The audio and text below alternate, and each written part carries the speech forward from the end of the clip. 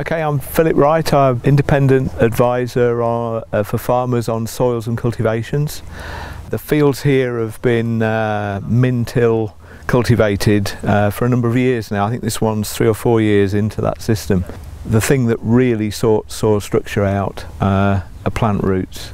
Metal is a means to an end. Uh, it can be necessary if, if, if the soil needs a hand for a start, but ultimately you're really just giving roots of your crop or whatever you're growing in there, you're giving them the chance to really do the job for you. I would say the first thing to do is dig down, check. Can you see the effects of the previous crop's roots? Are they growing down relatively um, unimpeded? If so, then we're really looking at damage as a result of this autumn's harvest.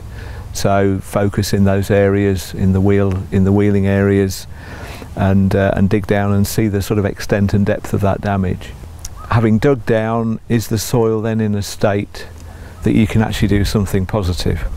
Uh, if it's too wet, if, if you can take a, a lump of soil from the depth you, that you want to work, for example, and you can you roll it between the palms of your hand and produce a, a very narrow ribbon that, that, that won't fracture, that's like plasticine, then to be quite honest, it, it, it's really too wet to do a lot of positive good, apart from mole draining at, uh, at significant depth. That's when that soil moisture should be at that level.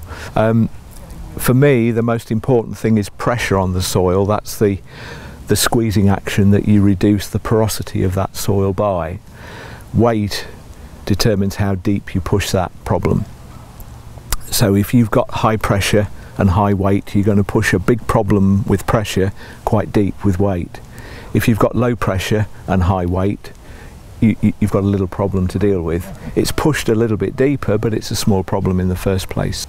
If we can reduce the level of disturbance when we drill the next crop, the next commercial crop, then we give that commercial crop the best possible chance of establishing quickly and getting away from black grass